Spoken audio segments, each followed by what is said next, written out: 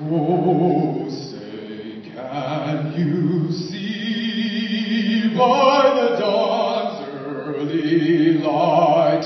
what so proudly we hailed at the twilight last gleaming, whose broad stripes and bright stars